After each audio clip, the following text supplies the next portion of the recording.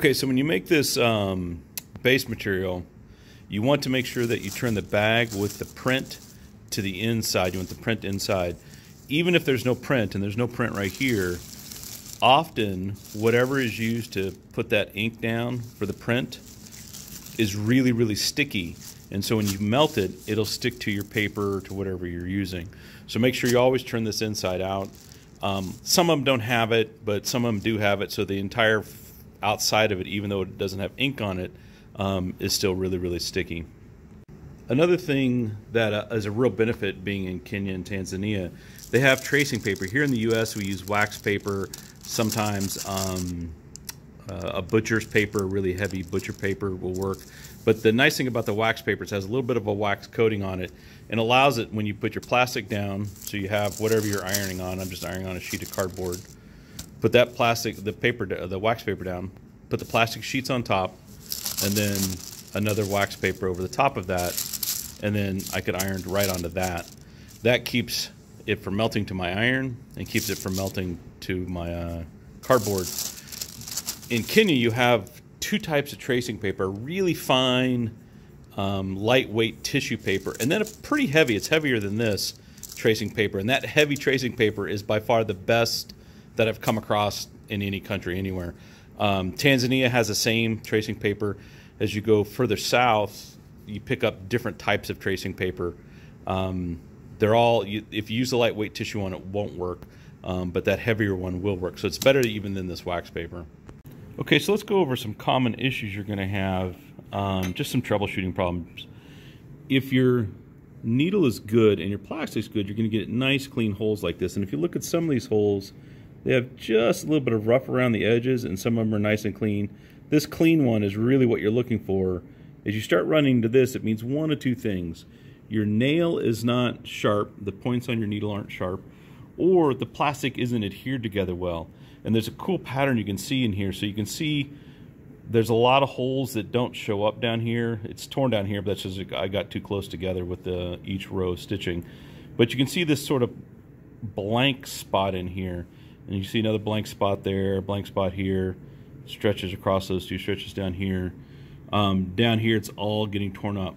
So there's a couple things going on. This blank spot down here is because the plastic itself hasn't been ironed together enough. So there's still um, gaps in it. And if we flip this over, you can actually see this. So this dark black is really indicative of it ironing together where the, the ink is.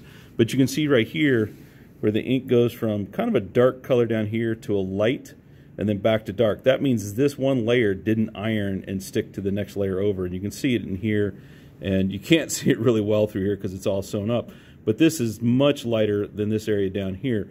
So it's not ironing well across this, and you can actually see right here, these light streaks in here are where it didn't adhere together. We didn't press all of our layers together and iron them really well. So this needs to be ironed more to get rid of these big open gap areas inside here. So one of the things that you can look for as you start sewing is these patterns. If you see these patterns in here, then it's an indication that you're um, plastic probably isn't ironed well, particularly if you have really good streaks of the nail doing a really, really good job and then suddenly junk and then back to good. Um, that means your nail's doing good, your nail's in good shape, but this is not so, but the iron, the plastic hasn't been ironed well together so well. So let's take a look at some of these holes and see if I can, oh, so this is actually really good. So this hole is fairly clean and these holes have little tabs stuck out on the end and you can see that. So this nail is doing a really good job punching good holes. This is where this row right here and this row right here got a little too close together and I punched through. Um, but you want a nice clean round hole, kind of like that one. Um, so this nail has a lot of little tabs stuck on it. There's a really good one. So it's a good indication that I need to sharpen using a file to use that file again and sharpen those points up so I can get a, a cleaner uh, um, hole, cleaner punch. As we flip this over, there's a couple of things you can also see. In fact, let's use this one. This is a scrap I was playing with earlier. So I'm going to zoom in. And this is another, another indication that your nail isn't doing what you want it to do. So you can see all these little fuzzies stuck onto it. So that should have popped free. That hole should have popped out, but it didn't. It stuck to it because the nail wasn't good. And if you look at it, you can see those fuzzies sticking up. So what you've essentially done, if you do this whole sheet that way, is that whole sheet will suddenly pop up and be really, really fuzzy, and it'll actually block air movement. Um, it'll stop the wind from getting in. And from this side, you can see where the holes aren't round; they're kind of stretched, and that's because it tore as opposed to actually uh, punching a hole through here. You can see down here too where it started to tear. You can see those holes aren't round, and it actually punched through right through there, um, but the plastic wasn't removed. So if we flip this over and look at this side, you can see those little chunks of plastic right there on those little holes right there that didn't pop out. So when you're running into trouble like that, where you get row of this going on, then it means the nail itself is is bad and needs to be resharpened or um, sanded flat and started over. If you have really good rows and then a hit or miss and really good rows and a hit or miss, then that means that spot um, wasn't ironed completely. But as you go through and go through and do all of this, if you only have a spot here and a spot there, then I wouldn't worry about it and go ahead and do the whole thing. As you iron, this hole, as you iron it, tends to open up even more. And that's bad because we really don't want it to go above two millimeters. Um, different mosquitoes are different sizes, but two millimeters is the standard for most mosquito nets that are made, manufactured. So that's what I've targeted. Um, so you don't want to iron over this a lot if you can avoid it. So if you find that this isn't really good, then maybe what you'll end up having to do is cut this whole piece off, re-iron this side to get it where you want it, and then start over ironing or sewing again across the whole thing. So this is an extreme case, but you can see where this tip has been um, sanded off and, and, has not done a good job. This is actually the tip from yesterday on the last video. But I went back to re-sand it and sharpen it, and I slid off, and you can see where I slid off to the right in this video and really mauled up the tip. And I went ahead and threw it back in the machine just to show you what bad holes were, and that's what you saw in some of those other pictures. Um, but that's a good indication of this nail. It'll punch a hole, but it's not going to do what you want. Now this nail is interesting. It's a really good sharp nail, but if you look at it, one tip is sticking out higher than the others, and it's right now the one in the back. I'm to roll it out, now it's the one on the right. It's just a little bit taller than everyone else. And that then means that one punches initially, and the other three kind of tend to rip it. And that gives that, that little, instead of a nice clean circle, you have little four little tabs kind of sticking in. So as you, the more off that gets, and this one I'd still sew with, um, but as the more off those tips get, the bigger that star-shaped pattern will be in the hole, and the more you'll have to, uh, the more likely you'll need to um, pull it out and repolish it. So let me see if I can find some good examples in here. Oh, so these are, let's pull this out of the way so I can get some black behind here. There you go. So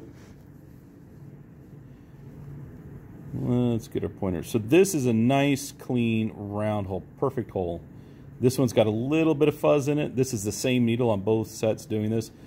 So this little bit of tab there is probably because of bad plastic.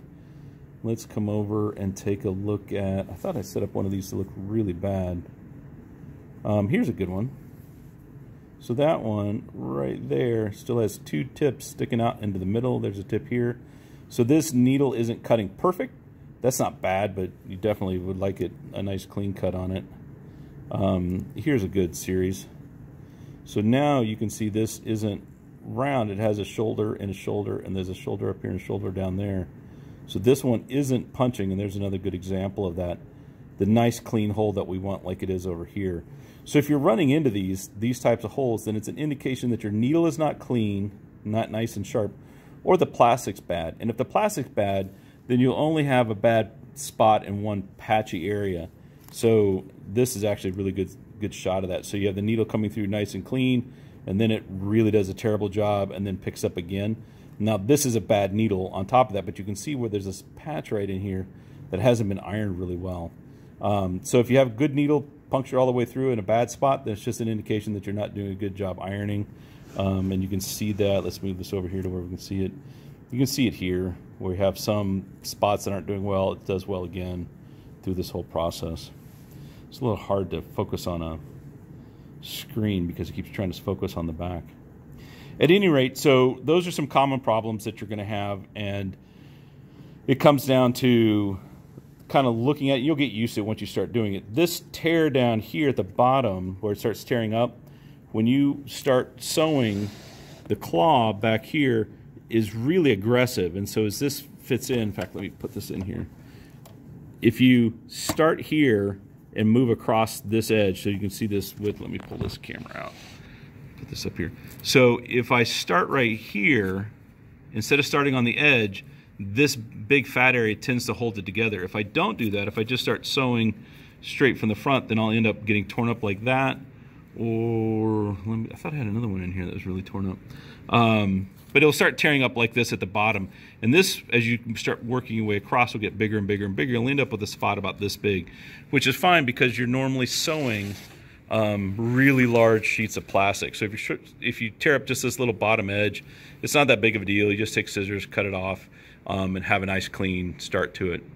And this is over here, this is where I was starting. So this was starting in this direction and you can see where the teeth have, have just chewed into that as you go.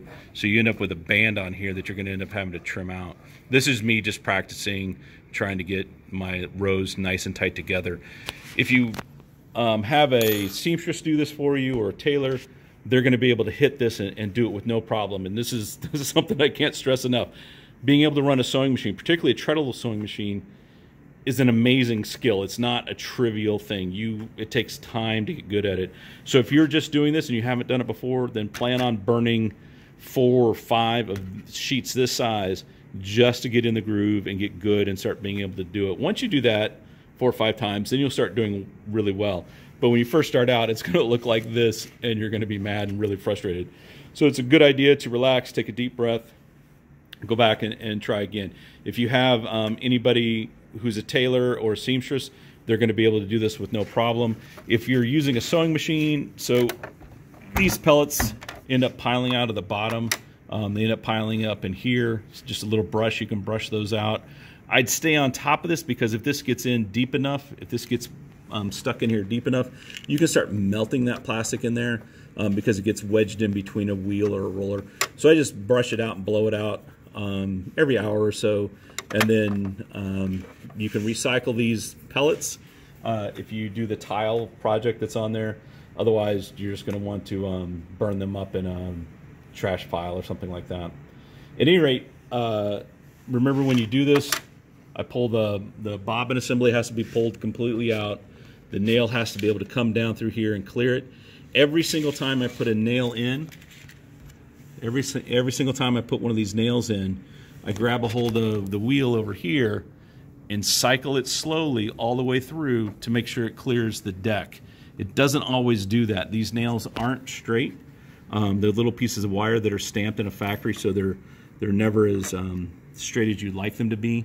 That's another thing you can do if you're finding that the, the needle looks good, um, but it's not cutting right you can grab a hold of it and just turn it while it's stuck set, set up inside here and see if you get a better cut. Sometimes that's all it takes because if the nail is, hold on a second, if the nail is instead of being straight, tilted just a little, then as the foot's running through, it's pushing sideways and, and trying to grip it so you can rotate it and get that bend going the direction you want it to go. So you can try just rotating this nail um, and that may be all it takes to, to clean up your cuts. But I always run it through by hand first and I can say that you'll mess it up and hammer it into the deck. And when it hits the deck, it'll smash the points, possibly bend the nail, and then you're starting over from scratch. But you'll only do that a couple times, and then you'll remember to always run it through by hand first. If it gets stuck down here, some of the industrial sewing machines have um, extra uh, pieces in here that don't easily come out. So just be ready for that. I always run it slow a couple of times just to make sure I know how my machine's going to work. The treadle sewing machines work awesome. They're great if the person knows how to do it. In those pictures, we're all smiling. I, I, think I sent those pictures of all standing around the treadle machine. It's because all of us are there trying to learn how to run the treadle sewing machine.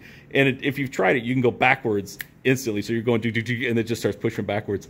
So it's a it's a, another skill on top of everything else. So if you have a tailor or seamstress, um, initially to help you learn how to do this, this will go really really fast.